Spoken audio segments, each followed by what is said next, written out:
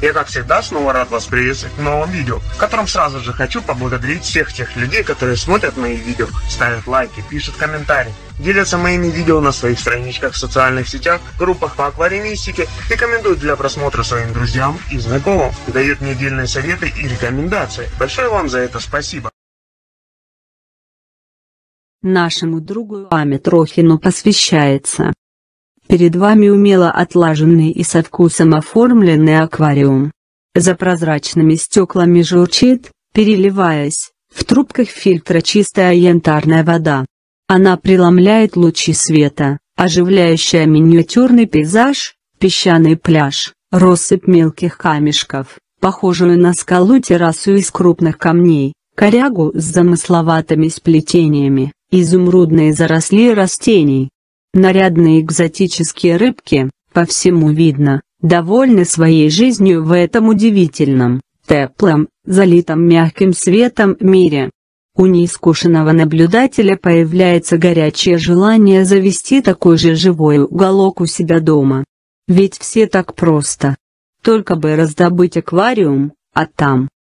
Но знал бы начинающий, как обманчива эта внешняя простота и сколько забот и огорчения ждет его порой после первых мнимых успехов, приятных минут. Сначала все пойдет совсем неплохо.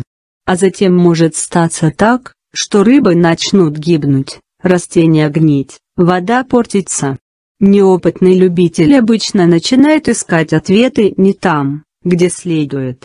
Допытывается, как ухаживать за той или иной рыбкой, за тем или иным растением, как избежать того или иного нежелательного явления в отдельности, не понимая, что важнее всего научиться ухаживать за средой, в которой живут его питомцы.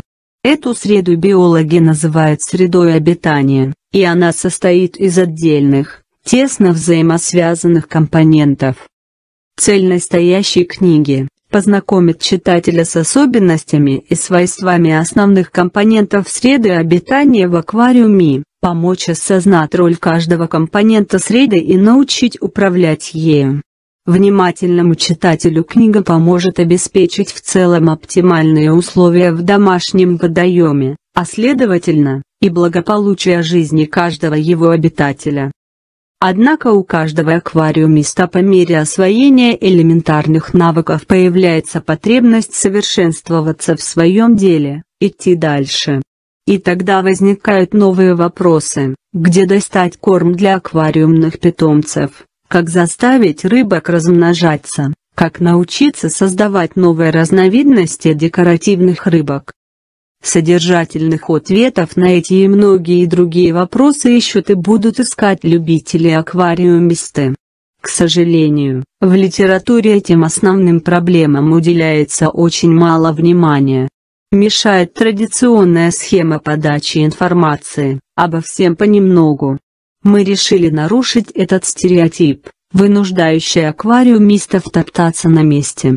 В этой книге сделана попытка рассказать о главном, но поподробнее. Каждый из нас писал о том, чему посвятил много лет упорного труда. Потому и название книги «Секреты аквариумного рыбоводства» не случайно, хотя в самой книге нет, конечно, никакой засекреченной информации. Просто для новых поколений аквариумистов наш опыт может быть столь же ценен, как и секреты долголетия, красоты и молодости.